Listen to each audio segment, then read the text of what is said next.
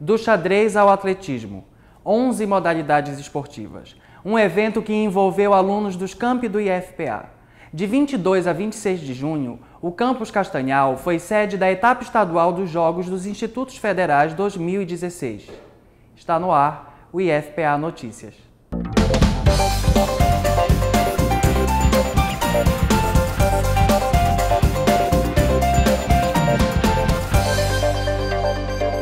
Em ano Olimpíadas, o Campus Castanhal foi a sede da etapa estadual dos Jogos dos Institutos Federais. Entre os dias 22 a 26 de junho, os alunos trocaram as salas de aula pela prática da atividade esportiva. Abertura digna de um grande evento, com direito a hino nacional, discursos e apresentação das equipes. Também teve desfile da tocha. Nesses jogos, os alunos puderam mostrar o lado atleta em esportes para todos os gostos, do individual ao coletivo. Atletismo, xadrez, futsal, handebol, 11 modalidades, cada uma com características bem específicas. Observe o vôlei de praia. Com um olhar mais atento, a partida entre o Campus Belém e o Campus Castanhal revela alguns detalhes. Primeiro, a conversa com o árbitro. Certifique-se sobre as regras. Depois, o apito e o saque. A bola não cai. Se cair, que seja do lado adversário. E caiu vibração da torcida. Até parece um ritual, mas são os ingredientes de uma partida de vôlei de praia. Ingredientes que tornam o esporte uma paixão para os alunos.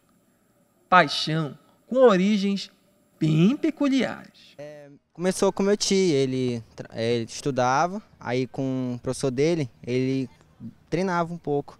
Aí ele se apaixonou, aí ele foi até pro, pro, pro ginásio de Propebas.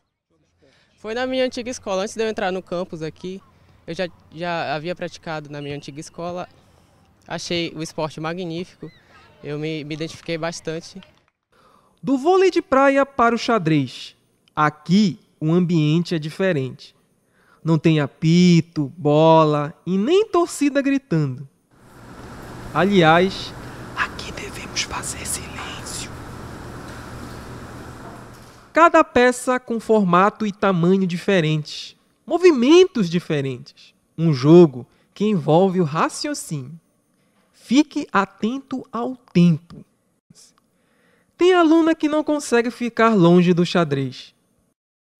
Eu amo xadrez. Todo, todo torneio, mesmo que não valha nada, eu gosto de participar, porque cada vez que eu vou jogando, eu vou ganhando mais experiência, mesmo eu perdendo ou ganhando.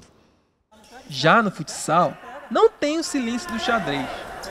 Aquele cuidado de não deixar a bola cair. Lá do vôlei de praia, não tem muito espaço. Aqui a bola é no chão.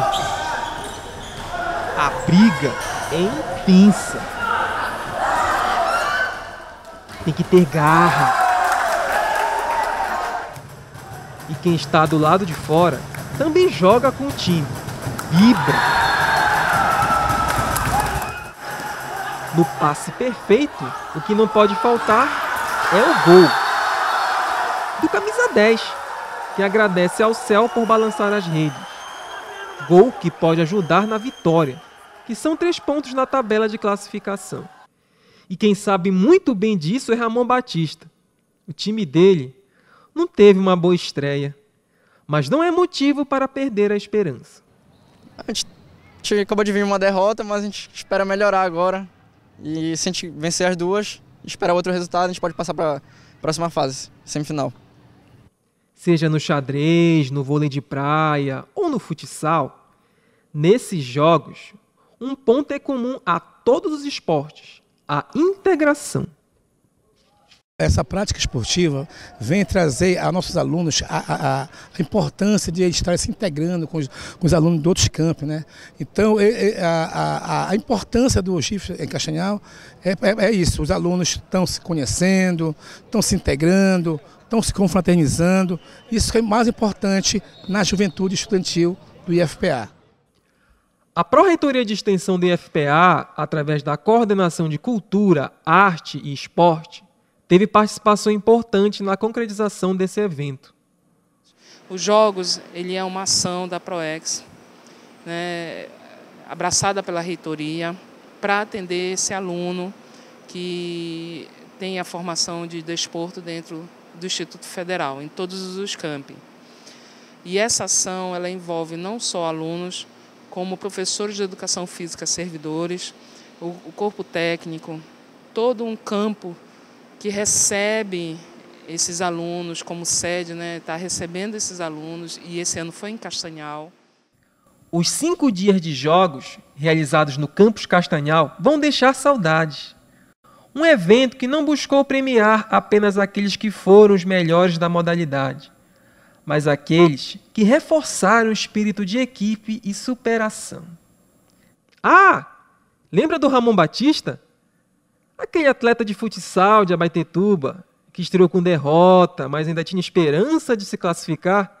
Pois é, o time dele não chegou às finais, mas mesmo assim ele foi premiado em outra modalidade.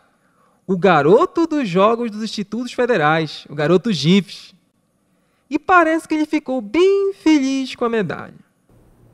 Esta foi mais uma edição do IFPA Notícias. Inscreva-se no nosso canal no YouTube, Ascom IFPA, e curta nossa página no Facebook, IFPA Reitoria.